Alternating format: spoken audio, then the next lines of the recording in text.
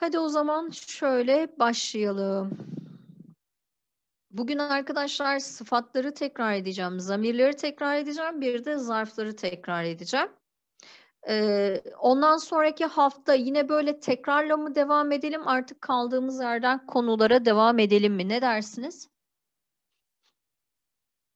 Hani eylemleri, ögeleri, mögeleri de bir geçip ondan sonra mı kaldığımız yerden devam edelim? Mikrofonlarınızı açın arkadaşlar benle konuşurken. Sonra kapatırsınız ben anlatırken. Yani Hocam benim fikrim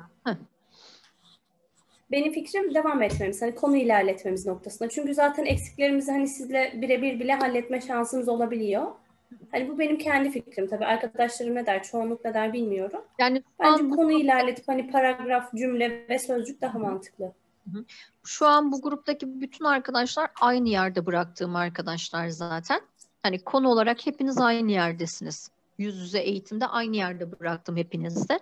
O yüzden hani ortak şöyle yapalım o zaman. Ben bu soruyu size sormuş olayım. Siz fikirlerinizi bana grupta ya da özelde paylaşın. Hani şu an zamanımızı onunla harcamayalım. Tamam mı?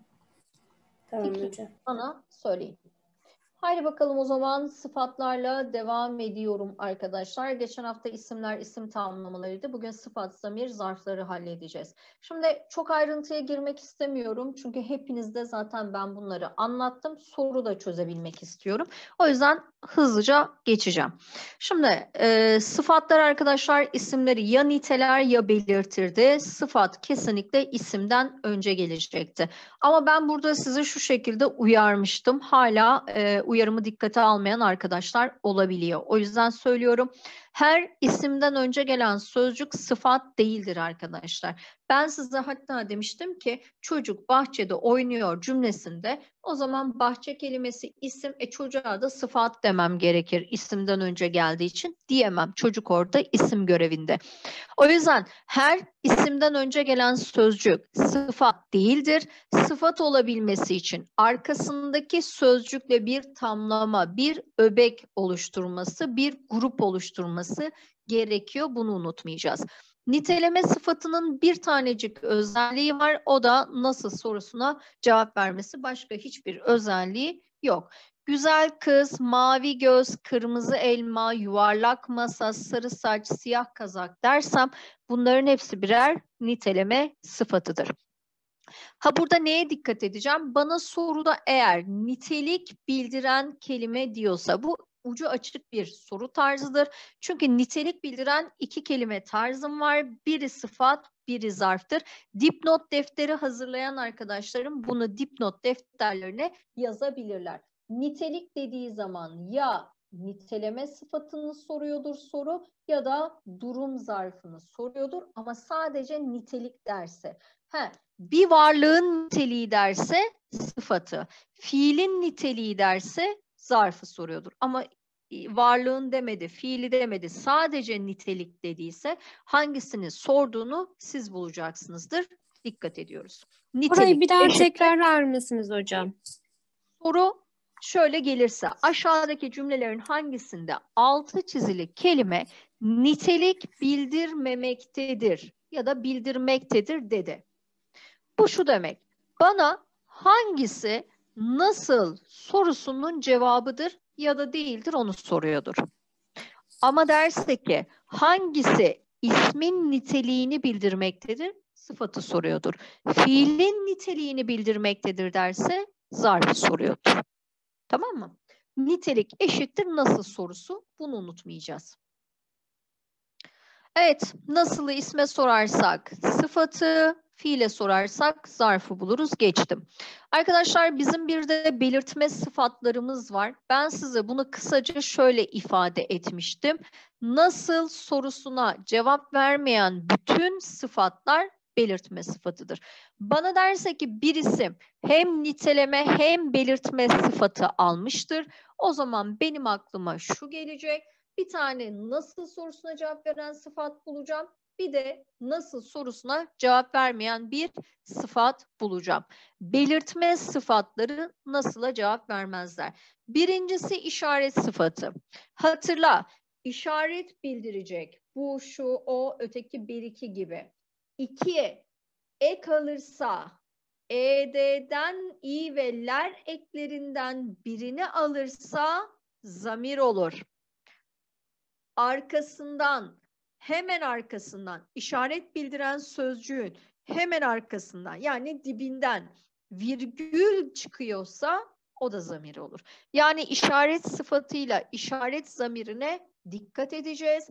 İşaret sözcüğü ek alırsa zamir olur, virgül alırsa zamir olur. Ama virgül yok, ek yok, arkasından da isim gelmiş. İşte o zaman sıfat oluyor. Dikkat edeceğim. Bu çocuk ağlıyor dersem sıfat, bu ağlıyor dersem zamir olur. Şu ev yıkıldı dersem sıfat, şu yıkıldı dersem zamir olur. O yüzden dikkat ediyoruz. İsimden önce gelirse sıfat oluyor. Eğer isimden önce gelmez, virgül alır, ek alırsa zamir oluyor. Bunlar demiş zamir, şuraya demiş zamir ama öteki sokak demiş sıfat olacak. Geçtim. Belgisiz sıfata. Belgisiz belirsizlik bildirir demiştik. Bazı, birçok, hiçbir, birkaç gibi ifadeler. Dikkat ediyorsunuz. Belgisiz sözcükler yine ek alırlarsa zamir oluyorlar. Ek almazlarsa sıfat oluyorlar. Birçok insan sıfat, birçoğu zamir. Tüm pasta sıfat, tümü zamir olacak. Burayı da geçtim. Arkadaşlar soru sıfatları hangi, kaç, nasıl, ne kadar, kaçıncı gibi sözcüklerdir. Soru sözcükleri yine ek alırlarsa zamir olurlar ama ismi nitelerlerse sıfat olurlar. Mesela hangi ev soruyu isme soruyorum. Sıfat. Hangisi ek almış zamir. Nasıl elbise isme soru soruyorum. Sıfat. Kaç para isme soru soruyorum. Sıfat. Soru sıfatları ve soru zamirleri ya da kısaca soru sözcükleri en çok hata yapılan kısımlardır. Dikkat edeceğiz. Soruyu neye sorduğunuz çok önemli. Soruyu fiile mi soruyorsun? Soruyu isme mi soruyorsun? Soru sözcüğü ek mi almış? Ben kriter olarak bunlara bakacağım. Tamam mı? Birazdan soru çözerken iyice pekişir. Geldim sayı sıfatlarına. Arkadaşlar sayı sıfatlarımız ismin sayısını verecek. 3 ekmek, 2 kız dersen asıl sayı sıfatı. Yarım ekmek, çeyrek domates dersem kesir sayı sıfatı. Üçer ceviz dersem üleştiriyor. İkinci sıra ilk öğrenci son oda dersem sıra sayı sıfatı olacak. Ama sonuç olarak sayı sıfatı. Evet, buraya kadar asıl sıfatlarımızda sormak istediğiniz bir şey var mı? Hani araya girmek istememiş olabilirsiniz. Var mıdır sorusu olan buraya kadar? Yok. Peki devam ediyorum o zaman küçültme sıfatlarıyla. Arkadaşlar geçen hafta küçültme adlarını görmüştük. Küçültme adları sadece cık ekiyle yapılırken küçültme sıfatı dikkat bak burası önemli. Küçültme sıfatları cıkla, ımsıyla, ımtırakla C ile yapılır demiştik. Minicik el, sıcacık çay küçültme sıfatı. Mavimsi göz, sarımsı saç. Maviye sarıya dönük demektir küçültme sıfatı.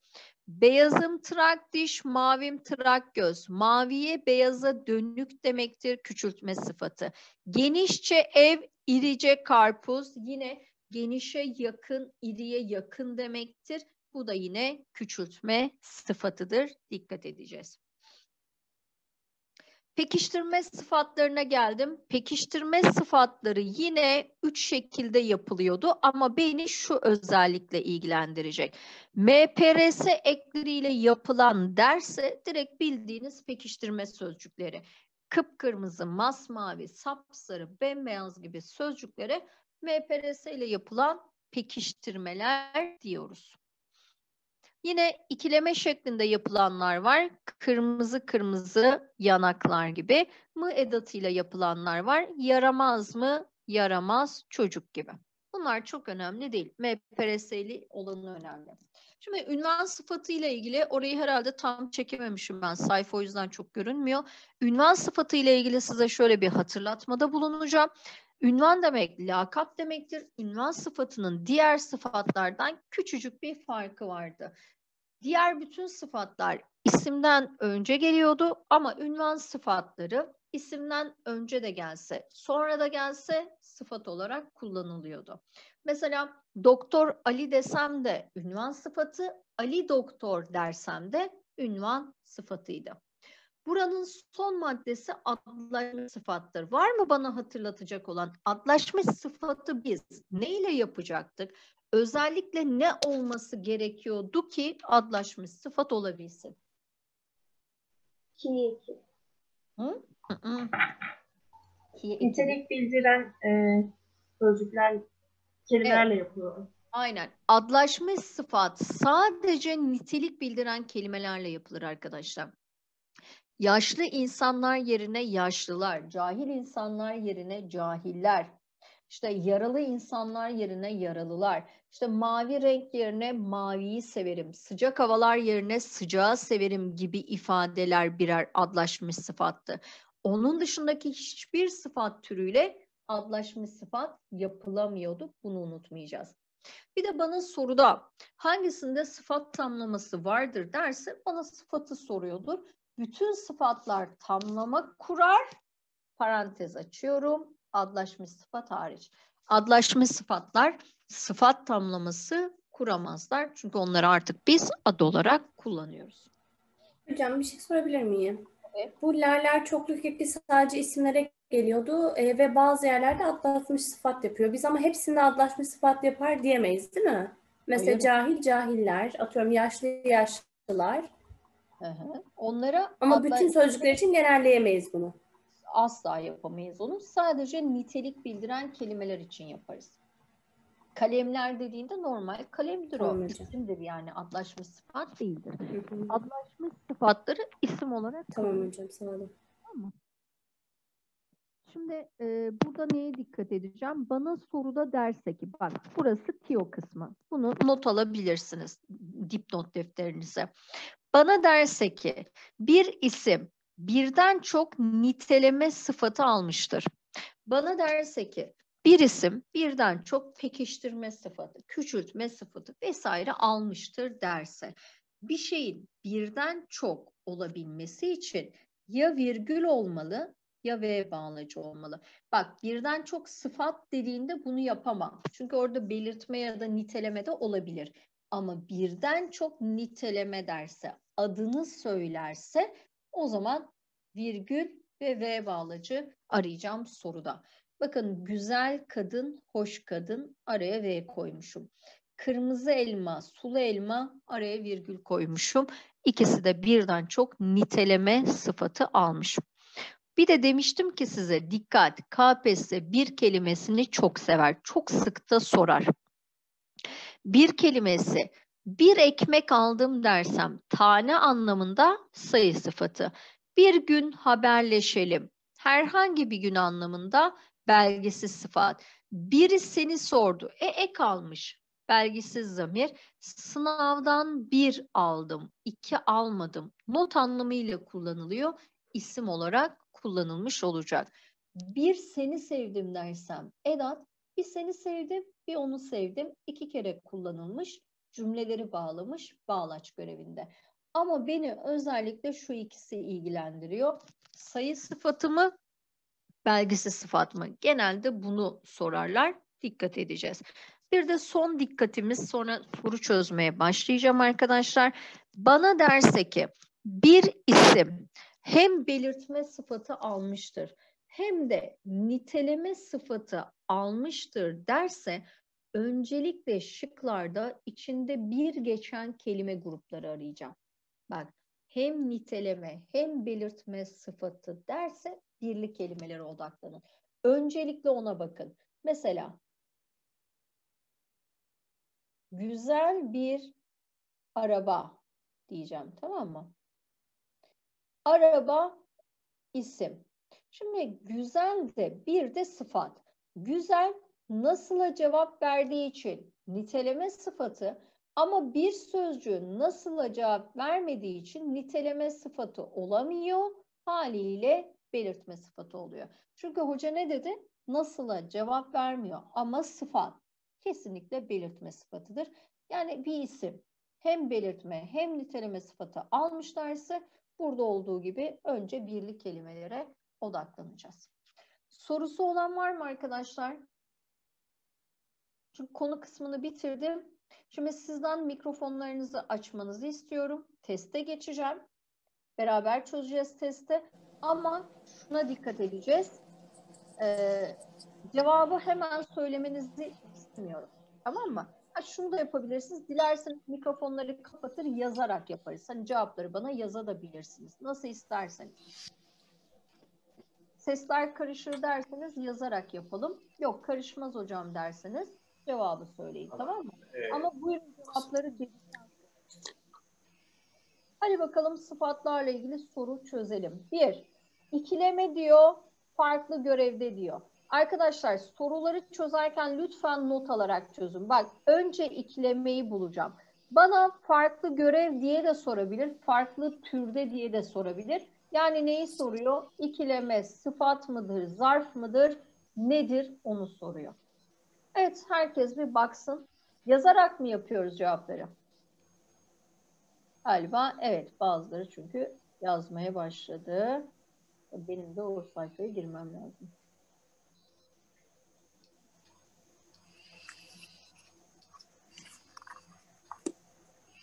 Evet arkadaşlar. Cevabımız A şıkkı. A şıkkı olacak. Çünkü güzel güzel oynamak zarf, kötü kötü düşünceler sıfat, kıvrım kıvrım saçlar sıfat, eğri bir yol sıfat, renk renk çiçek sıfat. O yüzden adına olacak. Haydi ikinci soru. Bakın bu tarz sorularda şunu yap. Lıklık eki ile türetilen sözcük demiş. O zaman önce bir lıklık şöyle bir çizilsin. Farklı görev demek, farklı tür demektir. Lık eki alan kelime ne görevindedir onu soruyor. Bir baksın herkes.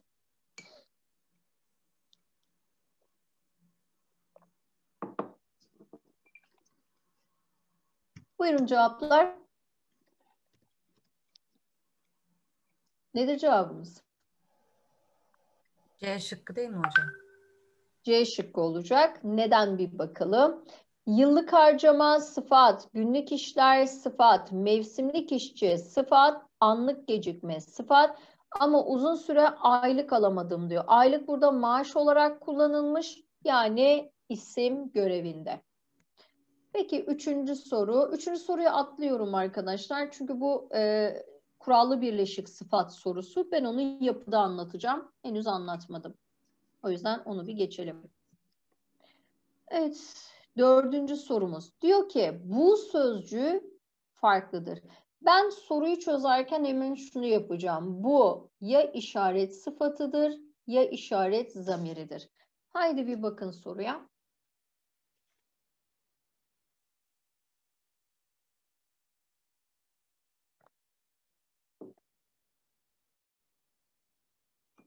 Evet nedir cevabımız? Denizli. Denizli olacak. Çünkü bu çocuk, bu sorumluluk, bu tür kitaplar bu ay. Bunların hepsi sıfat. Denizli'de bu okuyup bitirdiğim ilk kitaptı diyor. Burada hayali bir virgül var aslında. O yüzden zamir olacak. 5. Pekiştirilmiş sözcük sıfat görevindedir diyor. Bir baksın herkes.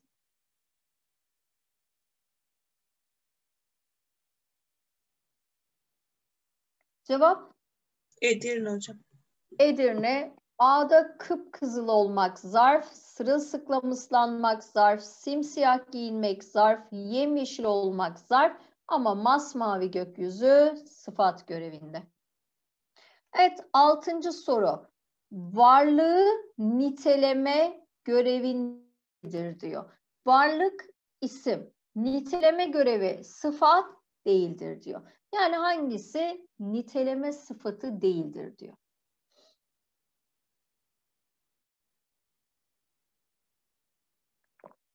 Cevabımız Bursa. Bursa hocam. evet. Çünkü o da bir nitelik bildiren kelime ama varlığın değil fiilin niteliğini bildirmiş. O yüzden iki burada zarf görevinde. Bakın bu sorunun yanına yıldız koyuyorum. Güzel bir sorudur. Geldim yedinci soruya. KPSS'nin en çok değer verdiği soru kalıplarındandır o sözcüğü. Evet sıfat değildir diyor. E ben şunu bileceğim. O sıfat değilse ya kişi zamiridir ya da işaret zamiridir. Buyurun.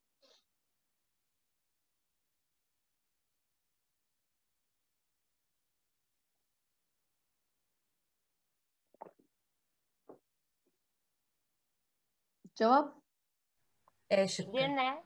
Edirne. Çünkü A'da o etkileyici film sıfat, o düşünce sıfat, o güzel günler sıfat, o olay sıfat. Ama Edirne'de o virgül tüm yaşamı boyunca açık sözlü oldu. Ali, Ahmet, Can göreviyle kullanılmış kişi zamiridir.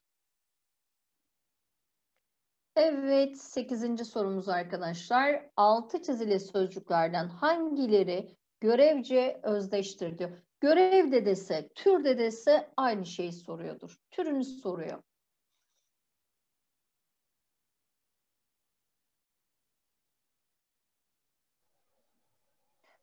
Cevabımız Bursa.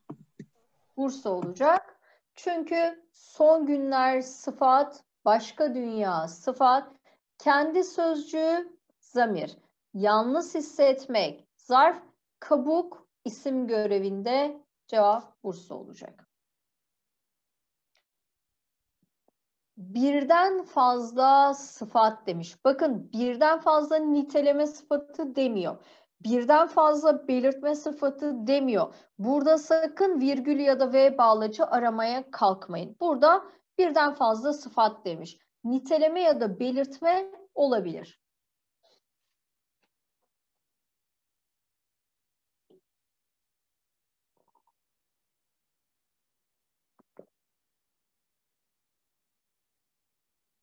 Var mı bulan cevabı?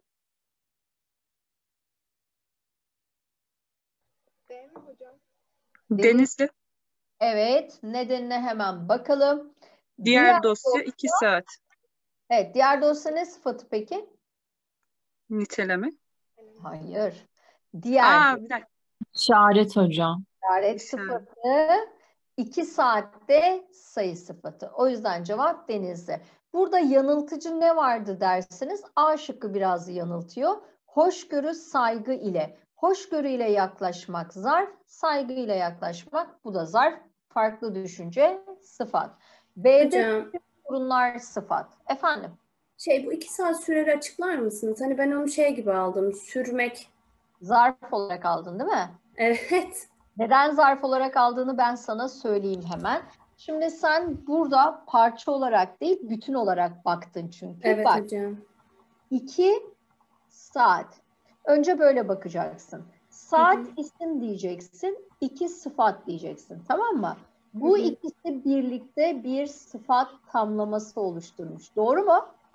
Evet. Bu sıfat tamlaması fiili belirtmiş, zarf görevinde kullanılmış. Ama iki saat birlikte zarf tümleci olmuş. Ben burada ikiyi sordum sana. İki nedir dersen, e, isimden önce gelmiş O sıfat. sıfat oluyor. Tabii. Tamam. Mesela bu akşam diyeceksin, tamam mı? Bu akşam. Soru şu, bunun sorusu özel bir soru kalıbıdır. Der ki, aşağıdaki cümlelerin hangisinde sıfat tamlaması zarf görevinde kullanılmıştır der. Bak, bu akşam, e, bu işaret sıfatı, bu bir sıfat tamlaması. Aynı zamanda bu akşam zaman bildirmiyor mu? Bildiriyor. Evet. Aynı zamanda da zarf görevinde kullanılmış ama tamamı zarf görevinde kullanılmış. O ayrıma dikkat ediyoruz. Tamam, Tamam hocam. Peki. Tamam teşekkürler. Rica ederim. Haydi 10. sorumuz o zaman. Onda diyor ki varlığı niteleyen sözcük yani niteleme sıfatı. Hangisinde var?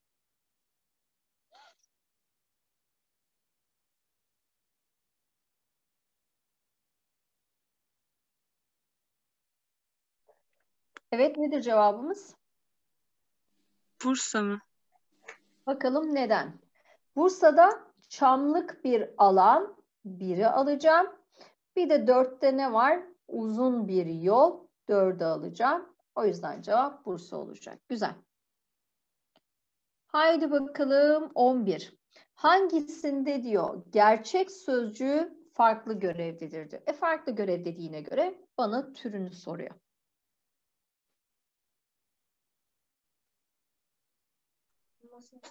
Ceyhan. Neden? Sıfat oradaki. Yerlerinde ne? isim. Peki. Sen ne dersin dersen de gerçek öyle değil derken isim. Gerçek ve düş isim ama burada gerçek dayanışma sıfat. Gerçek zaten ek almış isim. Burada da gerçeğin yüzü tamlama kurduğuna göre isim olacak. Evet cevabımız Ceyhan. Son 2-3 sorumuz. Aşağıdaki atasözlerinin hangisinde diyor eylemden türetilmiş sıfat. Şimdi eylemden türetilmesini boş vereceğim. Bana sıfatı soruyor. Önce bir sıfatları bulacağım. Sonra köküne bakacağım. Evet bulun bakalım cevabı. Adana. Keskin. Kesmekten keskin olmuş. Keskin sirke diye sirkeyi nitelemiş. Güzel. Keskin var, ak var, son var, bir var, iki var, bir de kara var. Bunların hiçbirinin kökü fiil değil ama kesmekten keskin. Burada keskin değil de şu da olabilirdi mesela çok çıkar. Çalışkan öğrenci ya da çalışkan birini de verebilirdi. 13 yine farklı türü soruyor. Anlama da az buçuk dikkat edeceğiz böyle ilginç kelimelerde. Edirne. Niye? Bayağı kesir diye kesir sıfatı. Evet, anlamadığım bir bayağı kesir kaldı diyor. Bayağı kesir demek basit kesir demektir. O yüzden bu sıfattır ama diğerlerinin hepsinde isim olarak kullanılmış. Peki buranın son sorusu arkadaşlar. Bu kelimelerden hangisi diyor sıfattır?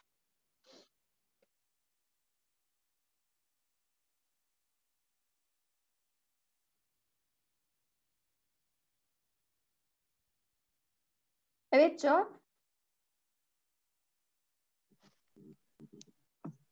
Kış Ben- günü? Şöyle çizeyim kelimeleri daha rahat olsun. Çizmediğim bir de şu. Evet cevap. Kış günü mü olacak? A değil Adana. Adana olacak. Kış günü niye olmaz? Çünkü kış günü bir at tamlaması. E o zaman kış da günde isim olmak zorunda.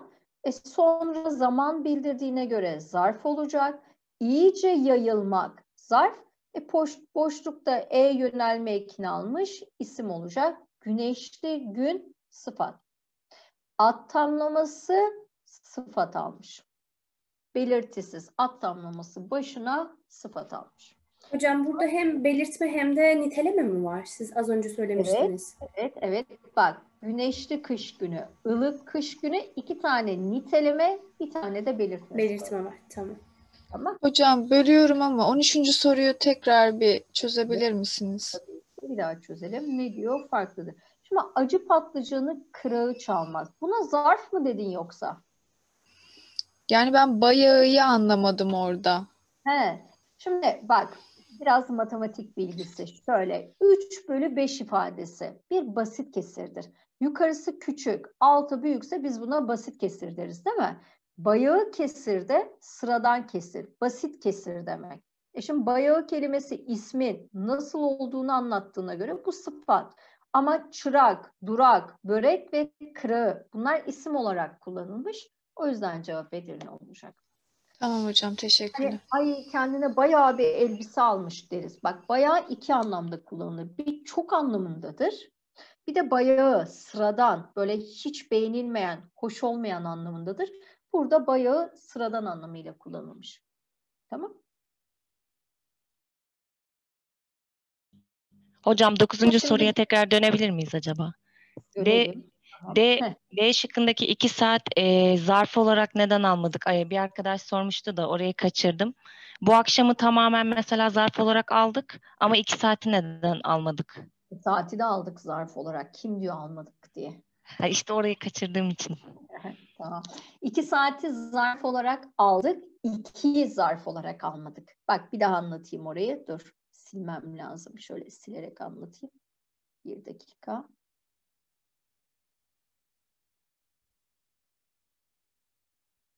Hı. Şimdi bak tekrar anlatıyorum. İyi dinleyin. Şimdi bana sadece ikiyi sorsa. Tamam mı? Yani şöyle iki saat kelime grubunu verse, ikinin altını çizse, bana bu nedir diye sorsa. Şimdi saat isimdir derim. Değil mi? İki de isimden önce geldiğine göre bu bir sıfattır derim. Doğru mu? Her sıfatla isim bir araya geldiğinde bu bir sıfat tamlaması oluşturur. Şimdi bana ikiyi sorduğunda iki sıfattır. Ama bana soruyu şöyle sorsaydı. iki saati yazsaydı. ikisini birlikte çizseydi. O zaman derdim ki iki saat birlikte zarf tümlecidir. Yani zarftır. Biz burada sadece ikiyi incelediğimiz için bunu sıfat olarak aldık. İki saati birlikte alırsak tabii ki zarf göreviyle kullanılmış olur. Tamam Tamam mı? hocam. Evet hocam Aynı şey bu akşam için de geçerli. Bana bu akşam kelimesini verir de sadece bunun altını çizerse işaret sıfatıdır. Ama bu akşamı birlikte çizerse derim ki bu kelime grubu zarf tümlecidir. Yani zarftır. Oldu mu? Evet Şöyle hocam teşekkürler. Rica ederim. Şöyle yapalım. Bir 5 dakika mola verelim. Ondan sonra da zarflarla devam edelim. Ne dersiniz? Evet, şimdi zamirlerle ve zarflarla tekrar edeceğiz. Zamirler daha kısa bir konu zaten. Onları da hızlıca hemen bir geçelim. Yalnız bugün he, yetiştirebilirseniz hemen bu anlattığım, tekrar ettiğim konularla ilgili soru çözün. Ben atacağım zaten gruba şimdi dersten sonra hem notları hem soruları. Gruba yazar mısınız arkadaşlar? Benim telefon yine yakınımda değil. E, ders başlıyor diye. Arkadaşlarınız da gelsin hemen başlayalım.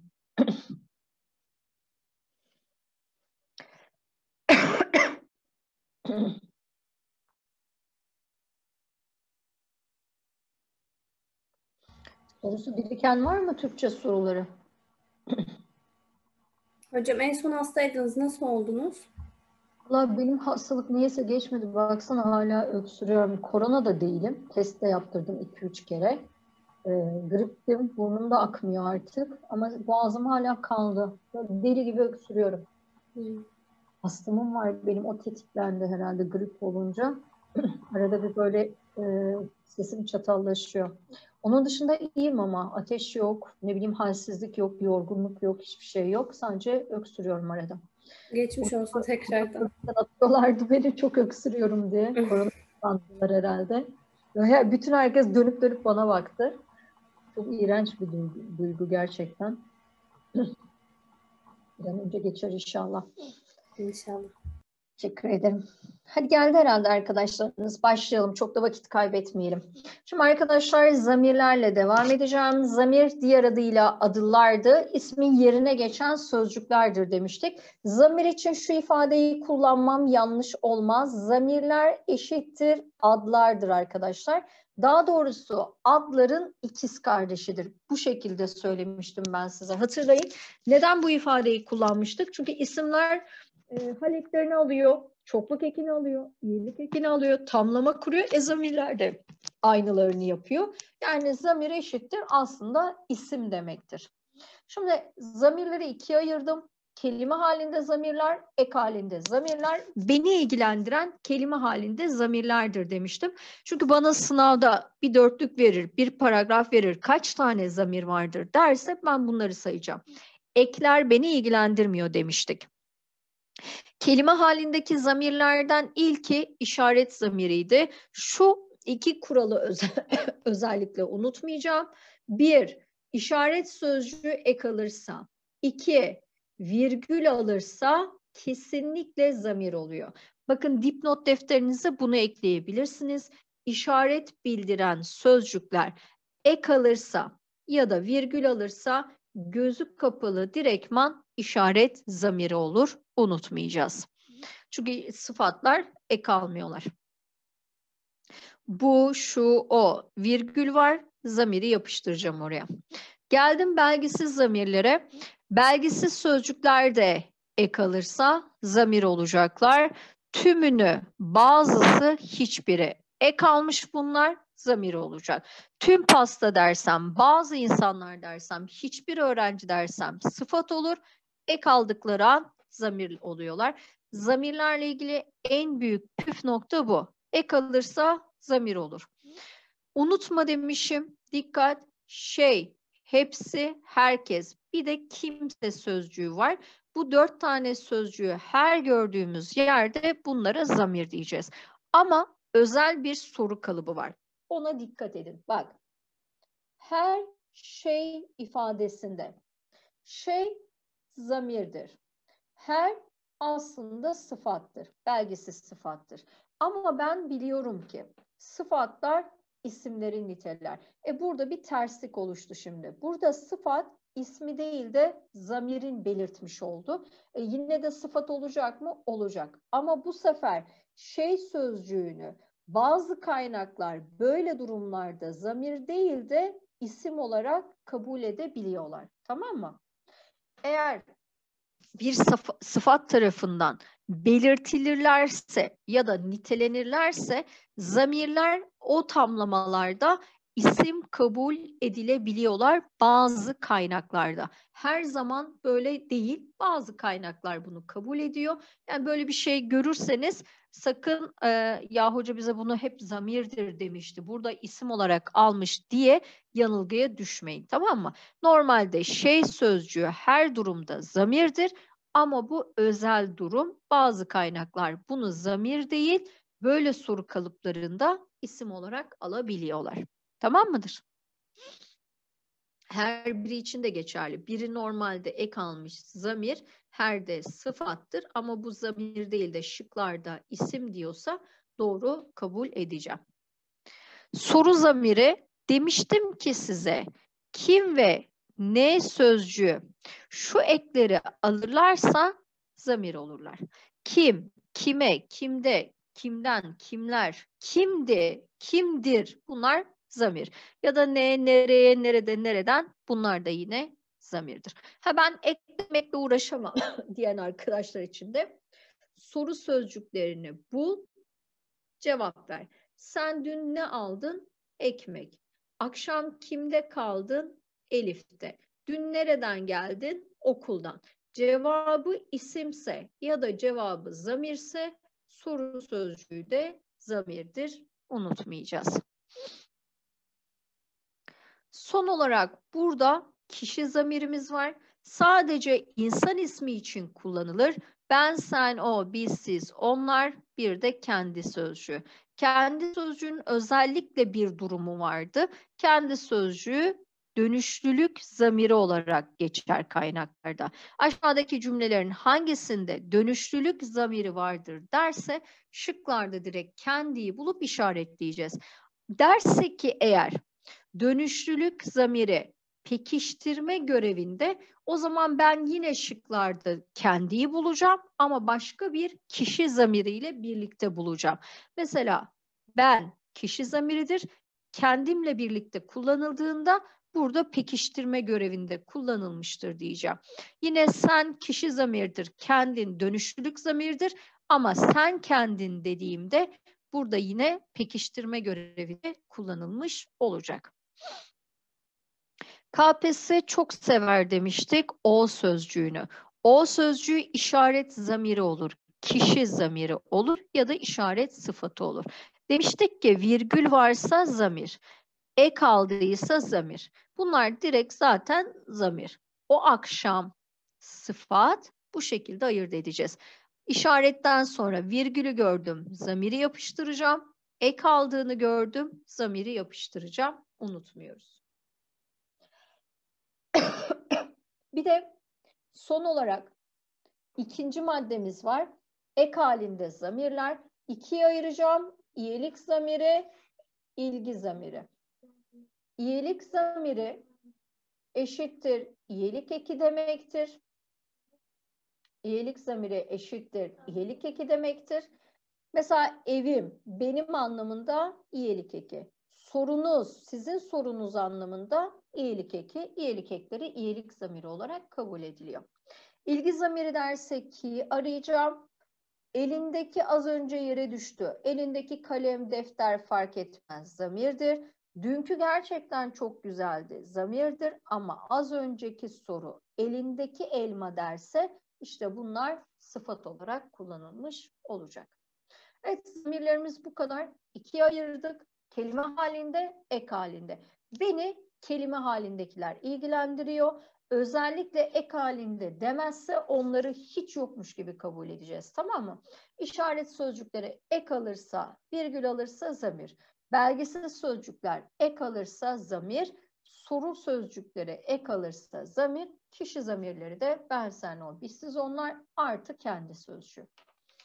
Hadi bakalım mikrofonlarınızı mı açıyorsunuz, yazıyor musunuz? Nasıl isterseniz öyle yapalım. Testimize geçelim.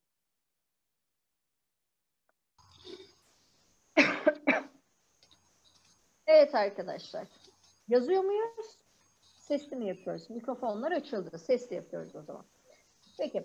Hemen cevap vermeyin. Diğer arkadaşlarım da lütfen bakabilsinler. Tamam mı?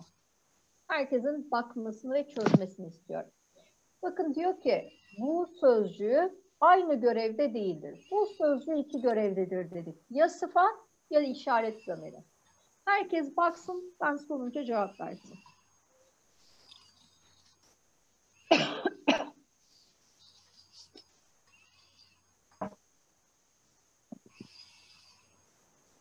Evet sorumuzun cevabını istiyorum. Adana. Adana. Adana. Adana, Adana olacak. Şöyle. Bir saniye arkadaşlar.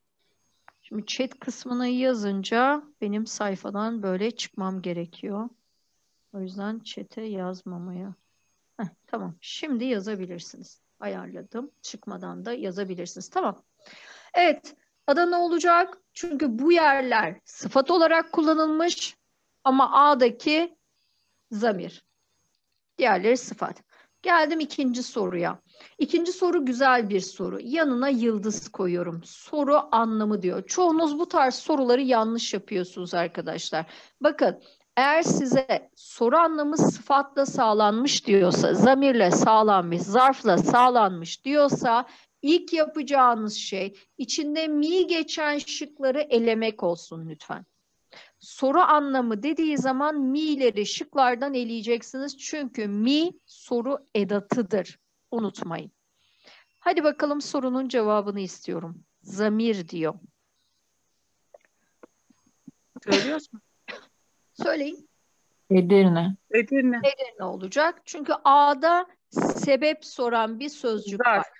Sebep soranlar zarf. Kaç kişi diyor? Sıfat. Ne zaman evlenmek? Zarf.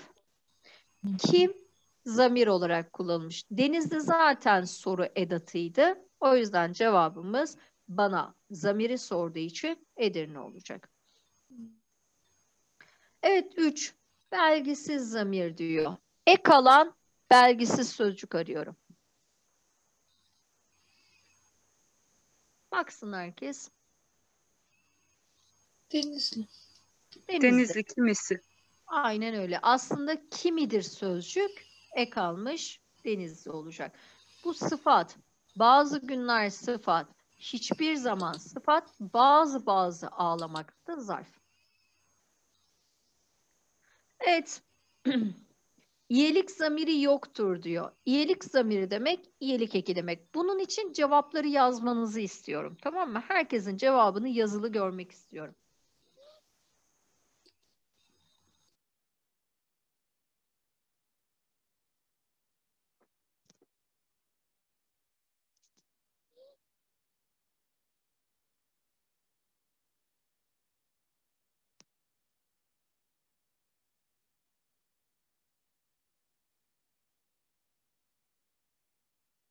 Evet, haydi bakalım göndersin herkes cevapları bir görelim.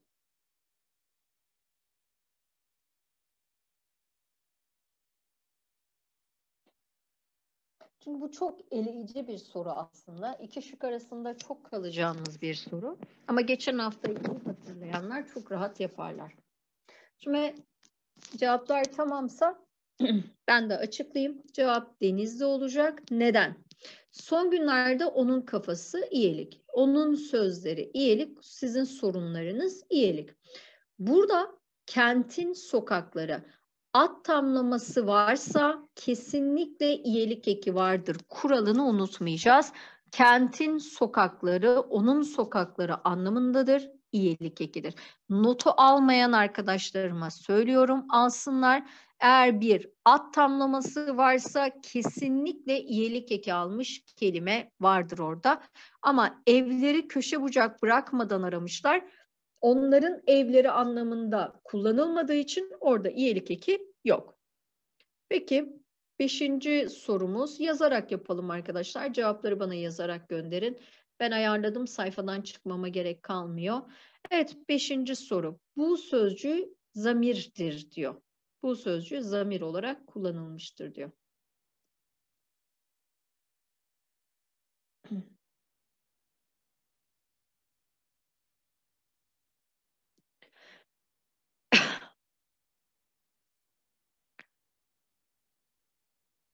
Evet, sorumuzun cevabı geldi. Güzel.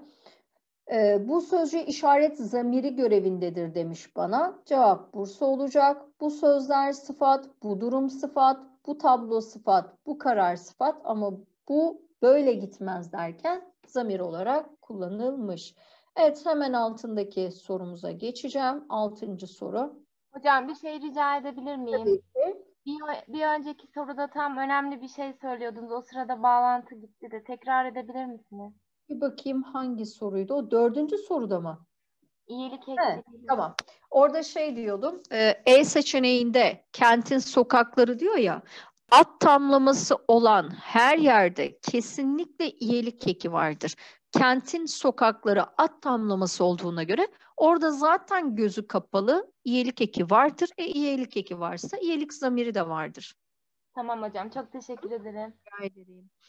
Haydi bakalım kaçıncı sorudayız? Altı.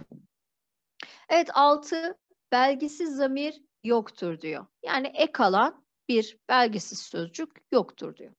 Yazarak yine devam ediyoruz.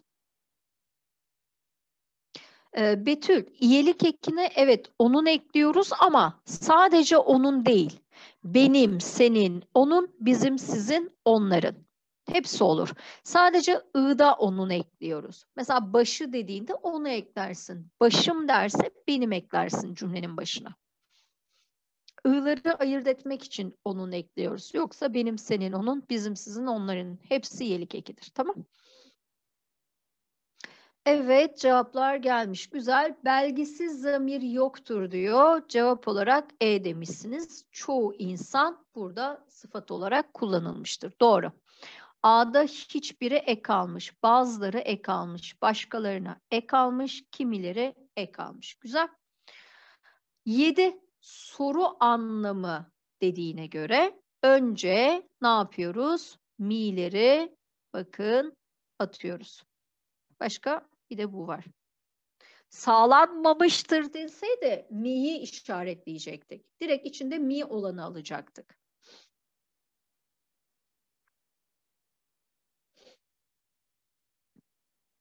Evet cevaplar gelsin bakalım. Bakın bu yöntemle yaparsanız işiniz çok kolay olur. Mi'leri attık. Neden var? Hangisini var? Evet cevaplarınız gelmiş. Betül D yazacaktın galiba bence yanlış yazdım. Ee, C'de neden diyor? Sebep soruyor. Sebep soranlar her zaman zarftır. O yüzden C'yi eleyeceğim. Hangisini diyor? Ek almış zamirdir. Cevabımız denizde olacak. Evet. Sekizinci soru. Kişi zamiri yoktur diyor. Haydi bakalım cevapları. Şuraya yazın. Ben şöyle noktaları koyayım karışmasın cevaplar. Evet hangisinde kişi zamiri yoktur? Çok hızlısınız. Güzel.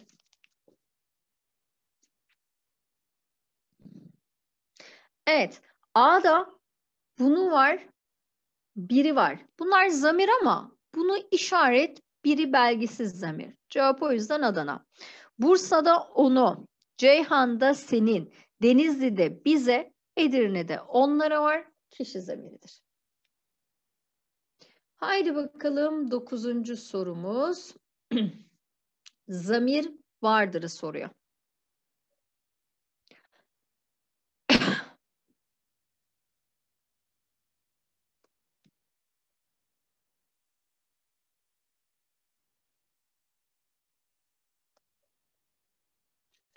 Süpersiniz arkadaşlar. Evet cevabımız çok güzel. Benim var kişi zamiri, kendi var dönüşlük zamiri. O yüzden cevap 1 ve 4 olacak. Hemen 10. sorumuz. Altı çizili, çizili sözcük tür yönüyle farklıdır diyor. İsim midir, sıfat mıdır, nedir? Ama genelde bu tarz sorular ya sıfattır, ya zarftır, ya zamirdir. Üçü arasında dönüp dolaşır. Haydi bakalım.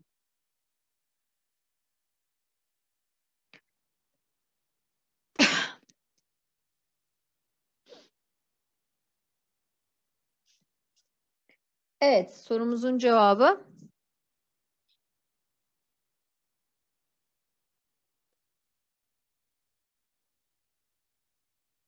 Güzel. Evet, sorumuzun cevabı geldi. Sorumuzun cevabı denizli olacak. Çünkü o bir sıfat. Diğerleri hep ek almış. Zamir zaten kimse hepsi bunlar ek alsa da almasa da zamir oluyordu ama hiçbir koşucu sıfat görevinde. Ne diyor? Belgisiz zamir diyor. Haydi bakalım. Bugün hep belgisiz zamirden gitmişiz. Sınavda soru çok geliyor ondan çünkü. Evet 11. Hangisinde belgisiz zamir kullanılmıştır diyor.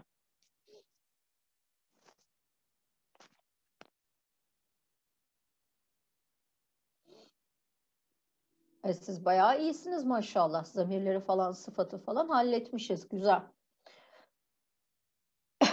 Evet, sorumuzun cevabı Ceyhan olacak. İki nedeni var.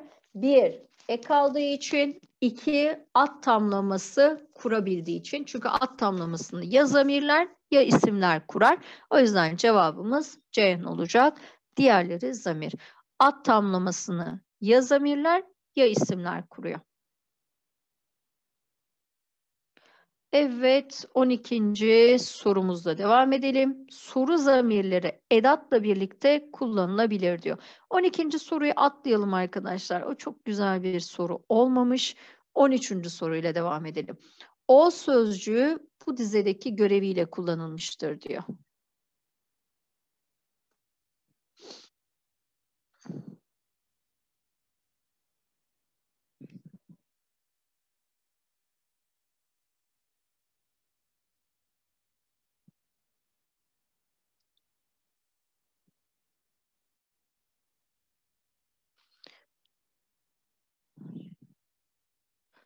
Bizim hiç erkeğimiz yok mu ya grupta? Hiç erkek ismi göremiyorum cevap verenlerde. Hep bayanlar cevap veriyor. Hep de aynı isimler. 37 kişiyiz şu an derste. Hep aynı kişiler cevap veriyor. Diğerleri niye yazmıyor? Bir yazın bir göreyim kimler öğrenmiş, kimler öğrenememiş. evet. O aslan nefer sıfat görevinde. Cevabımız denizde. O günler sıfat görevinde. Diğerleri zamir. Buranın son sorusu. Güzel de bir sorudur. Diyor ki zamir diyor, ek eylem diyor, yüklem diyor. Ben ek eylemi görmeyeceğim. Yüklemi bulup zamiri işaretleyeceğim. Bu tarz sorularda ek eylemmiş bilmem neymiş hiç önemli değil. Yüklem zamir diyor. Bitti.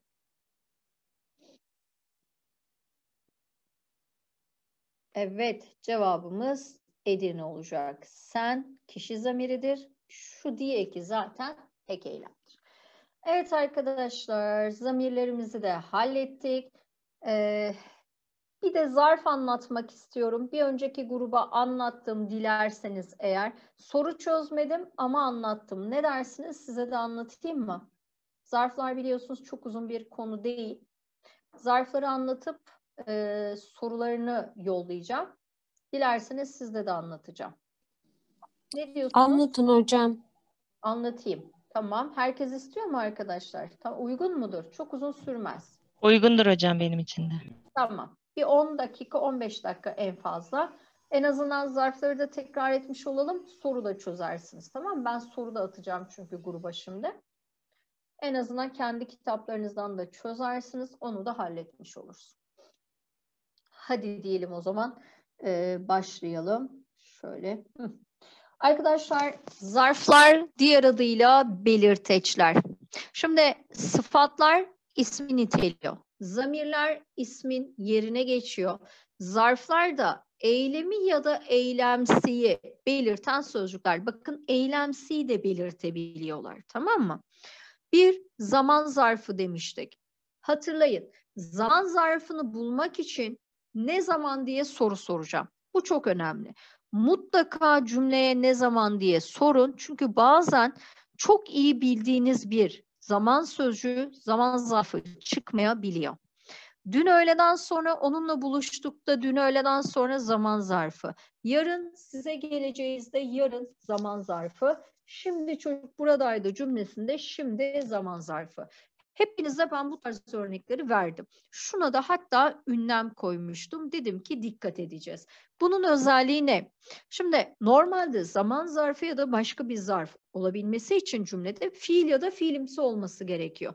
Ama bu cümlede ne fiil ne de fiilimsi yok. O yüzden ben size özel bir durumdan bahsetmiştim. Dedim ki eğer cümlede ne zaman sorusuna cevap veren bir sözcük varsa o cümlede fiilimsi ya da fiil olmasa bile zaman zarfı vardır.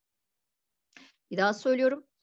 Ne zaman sorusuna cevap veren bir sözcük varsa o cümlede kesinlikle zaman zarfı vardır. Cümlede fiilimsi ya da fiil olup olmaması beni ilgilendirmiyor.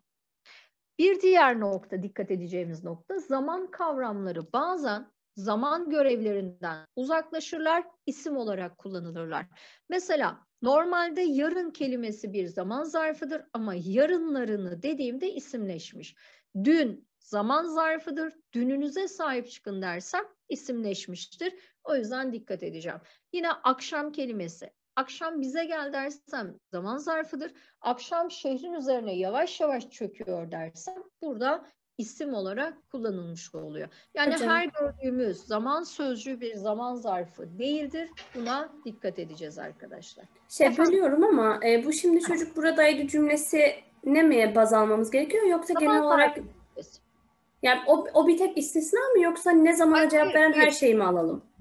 Ne zamana cevap veren bütün soru cümle yani bütün cümlelerde kesinlikle zaman zarfı vardır diyeceğiz. Sadece bu örnekte değil. Buna benzer bir sürü örneğimiz var. Mesela Tamam kalem az önce elindeydi diyeceğim. Ne zaman elindeydi? Az önce. Cevap veriyor mu? Veriyor. Kesinlikle zaman zarfı vardır diyeceksin. Tamam hocam. Sağ olun. Peki. Sınavlarda en çok sorulan kelimelerden biridir artık kelimesi arkadaşlar. Artık benimle konuşma zaman zarfı. Artık yemek sıfat. Artık virgülüm var. Yemek yemem ben diyor. O zaman zaman zarfıdır. Yemek artıkları at tamlaması olduğu için burada isim görevindedir.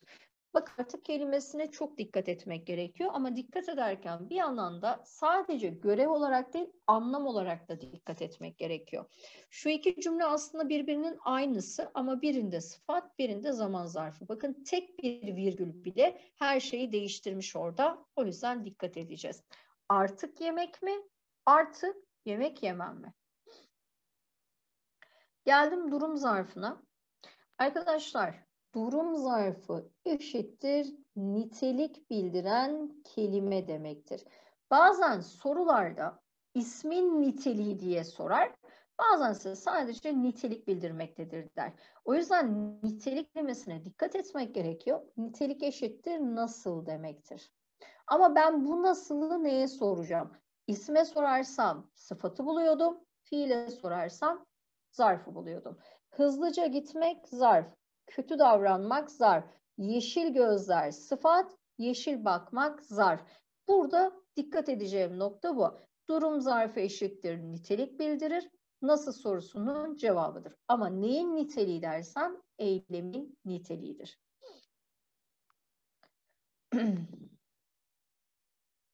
Burada direkt örnek soru.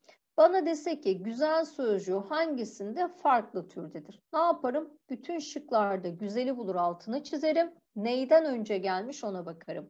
Güzel davranmak zarf, güzel konuşmak zarf ama güzel hikaye dersem isimden önce geldiği için sıfattır.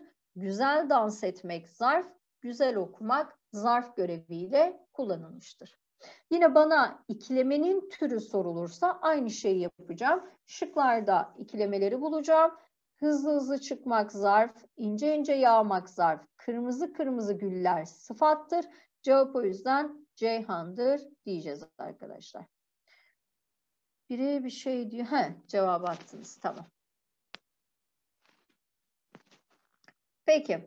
Şimdi bir uyarımız daha var. Hatırlayın arkadaşlar tahtaya bunu yazmıştım. Belki, asla, tıpkı, kesinlikle, mutlaka gibi sözcükler her durumda zarf olarak kullanılıyor. Bunların ne zarfı olduğu değil, zarf olup olmadığı önemli. Belki'yi gördüm zarf, aslayı gördüm zarf, kesinlikleyi gördüm zarf, mutlakayı gördüm direkt zarfı yapıştıracağım arkadaşlar. Bunlar her durumda zarf. Dipnot defteri hazırlayan arkadaşlarım özellikle bunları yazsın. Hatta bunlara bir kelime, iki kelime daha ekleyeceğiz. Biri en kelimesi, biri de daha kelimesi. Bunlar da yine her durumda zarf olan kelimelerdi. Bana aşağıdaki cümlelerin hangisinde durum zarfı vardır diye sorar. Ama bu kek sorudur. Herkes bunu yapar. Ama soruyu bana bazen şöyle de sorar. Eylemin yapılış biçimini bildirir. Eylemi niteler, eylemi durum bakımından tamamlar, yüklemi niteler derse bunun bana durum zarfını sorduğunu benim bilmem gerekiyor. Tamam mı? En her zaman edat değil mi? Hayır Betül, en her durumda üstünlük zarfıydı. Derecelendirme miktar zarfı olarak kullanılıyordu. Edat olarak asla kullanılmaz. Dikkat et. Tamam.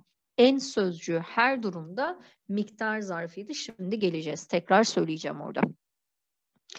Eylemin yapılış biçimi derse, eylemin niteler derse, eylemi durum bakımından tamamlar derse bana durum zarfını soruyordur. Unutmayacağım. Geldim üçüncü maddeye. Arkadaşlar üçüncü maddemiz yer yön zarfıdır. Sadece sekiz tane sözcüğüm yer yön zarfı olarak kullanılıyordu. Unutmayacağım. İçeri dışarı, ileri geri, aşağı, yukarı, öte beri. Bunun dışında sağ sol kelimeleri yer yön zarfı olamaz. Ön, arka yer yön zarfı olamaz. Dikkat edeceğiz tamam mı? Peki her gördüğümüz yer yönü direkt zarf mı diyeceğiz? Hayır. Kesinlikle ek almayacaklar. Çok önemli. İsmi değil, fiili belirtecekler. Çok önemli. Mesela burada. Ben şu ek aldığı için elerim. Şu ek aldığı için elerim. Çünkü ek alanlar isim olacak. Aşağı sokak isimden önce geldiği için sıfat. İleri görüşlü adam isimden önce geldiği için sıfat. E, fiilden önce gelen D seçeneği benim zarfım olacak. Bir daha söylüyorum. Ek alırsa isim oluyor, eledim. İsimden önce gelirse sıfat oluyor, eledim. Fiilden önce gelen benim zarfımdır. Dördüncü maddemiz arkadaşlar miktar zarfı.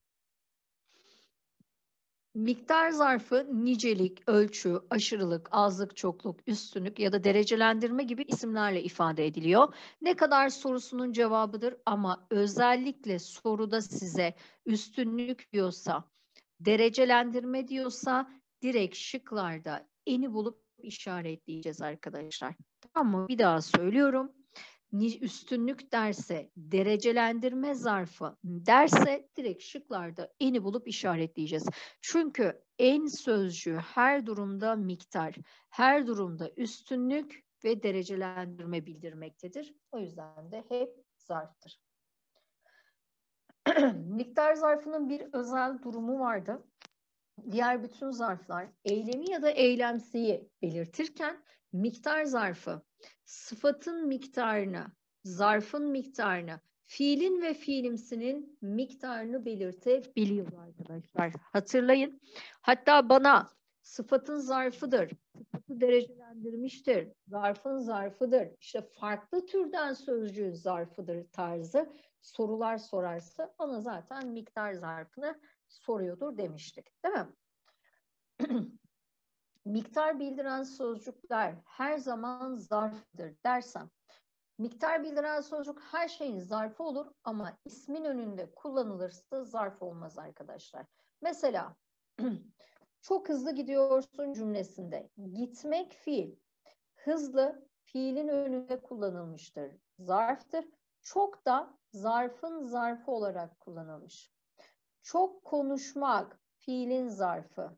Hızlı araba. Hızlı sıfat olduğuna göre çok hızlı sıfatın zarfıdır. Yaşlı kadın. Yaşlı sıfat olduğuna göre en sıfatın zarfıdır. Ama bana dese ki çok para, az kahve burada sıfat olarak kullanılmışlardır. Peki size soruyorum çok ve az burada ne sıfatı olarak kullanılmış? Çok para, az kahve madem miktar bildirmiyor. Ne sıfatıdır bu? Belgisiz mi? Belgisiz çünkü az diyorsun, çok diyorsun. Ne kadar olduğunu söylemiyorsun. Tüm diyoruz, biraz diyoruz. E bunlar belgisizse az da çok da belgisiz sıfattır. Yani kısaca miktar bildiren sözcük her şeyin önünde kullanılır ama ismin önünde kullanılırsa zarf değil sıfat olur. Unutmayacağız. Son maddemiz soru zarfı arkadaşlar. Ben soru zarfını size anlatırken özellikle şunu söylemiştim. Neden, niye, niçin sözcükleri. Bu üçü özellikle sebep bildiriyor. Sebep bildiren bütün sözcükler soru zarfıdır. Unutmayacağız. Ne zaman da soru zarfıdır. Ama onun dışında kalan soru sözcükleri cümleden cümleye göre değişiyor. Sebep soran bütün soru sözcükleri soru zarfıdır. Dipnot defterinize bunu da ekleyebilirsiniz.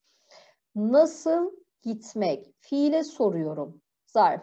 Nasıl insan? İsme soruyorum. Sıfat. Ne kadar beklemek? Fiile soruyorum. Zarf. Ne kadar elma? İsme soruyorum. Sıfat. Şimdi ne içinde demiştim ki hatırlayın ne eşittir. Niçin anlamına gelirse e sebep sorduğuna göre zarftır. Ama ne sözcüğü çok anlamında kullanılırsa e miktar bildirdiği için miktar zarfı olarak kullanılır. Ne sözcüğü niçin anlamındaysa soru zarfıdır. Çok anlamındaysa miktar zarfıdır. Ne uçup duruyor havada kuşlar? Niçin anlamında kullanılmış soru zarfı. Ne güzel bir kızdın sen. Çok güzel anlamında kullanılmış miktar zarfıdır. O yüzden neye biraz dikkat etmek lazım. Sıfat oluyor, zarf oluyor, zamir oluyor. Özel bir durum. Son olarak hangisinde soru zarfı vardırla, hangisinde soru anlamı zarfla sağlanmıştır ya da sağlanmamıştır kalıpları farklıydı. Soru zarfı vardır derse direkt soru zarfını bulup işaretleyecektik. Ama soru anlamı dediği an işler değişiyordu. Soru anlamı zarfla sağlanmış derse mı'ları eliyorduk. Sağlanmamıştır derse içinde mı olanları işaretliyorduk. Mesela ne zaman geleceğini biliyor musun cümlesinde soru zarfı var mıdır derse var. Soru anlamını soru zarfı katmış mıdır derse hayır. Çünkü bir cümlede iki tane soru sözcüğü varsa hep en sondaki soru anlamını sağlayacaktır. Unutmuyoruz. Tamam mı? Eve ne zaman geleceğini biliyor musun demiş. Ne zaman soru zarfıdır. Musun da soru edatıdır. Bu cümlede soru zarfı olmasına rağmen anlamı musun sağlamıştır. Evet arkadaşlar konumuz bu kadar. Sorusu olan var mı? Hocam ben şuraya anlamadım diyen bir arkadaşım var mı? Tek anlatmamı isteyen. Yok. Peki. O zaman arkadaşlar bugünkü dersimiz bitti. Ee, ben size soruları atacağım. Konu anlatımını da atacağım. Sizden istediğim şu lütfen çek kopartlarınızdaki işlediğimiz yere kadar olan kısımları lütfen bitirin. Tamam mı? Yine bayağı ilerlemiştik. Cümlenin ögelerini bitirdik, cümle türlerini bitirdik. Onlar bizim çek kopartlarda parça parça ama yine de aralara şöyle bir bakın, bir göz gezdirin. İşlediğimiz bütün konular bitsin. Hatta ses bilgisi de bitmişti. Herhalde bir yazım bir nokta kalmıştı dil bilgisi olarak. Ee, onları da bitirince dil bilgisini bitirmiş olacaktık. Olmadı dediğim gibi yine siz bana yazarsınız tabii. Haftaya kaldığımız yerden devam ederiz istiyorsanız. İstiyorsanız da bir ögeleri, cümle türlerini de yine bir geçeriz üzerinden. Ondan sonra devam ederiz. Tamam. 4 Ocağı kadar çünkü daha bayağı zamanımız da var. Peki sorunuz yoksa kendinize iyi bakın arkadaşlar. İyi akşamlar hocam.